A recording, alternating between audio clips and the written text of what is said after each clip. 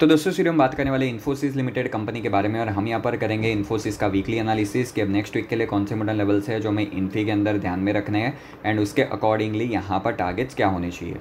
सो देखो दोस्तों, बात अगर हम करें यहाँ पर अभी फ़िलहाल के लिए इन्फोसिस की तो इस काउंटर के अंदर हमें थ्रू आउट द वीक कहीं ना कहीं यहाँ पर जो है वो थोड़े से रिजेक्शंस थोड़ी सी सेलिंग गिरावटें देखने को मिली है। एक दिन काउंटर साढ़े तीन परसेंट तक डाउन था।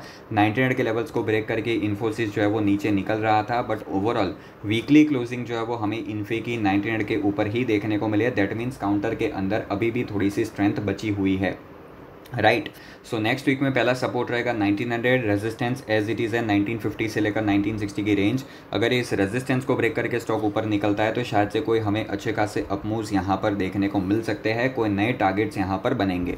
बट अगर मान लो यहाँ पर इन्फी ने क्या कर दिया नाइनटीन से लेकर एटीन के इस जोन को ब्रेक कर दिया तो अच्छी खासी यहाँ पर जो है वो हमें प्रॉफिट बुकिंग एंड उसके बाद नेक्स्ट सपोर्ट एटीन का टेस्ट होगा. एंड अगर वो भी ब्रेक हो गया तो फिर उसके बाद नेक्स्ट सपोर्ट सेवनटीन का भी टेस्ट हो सकता है.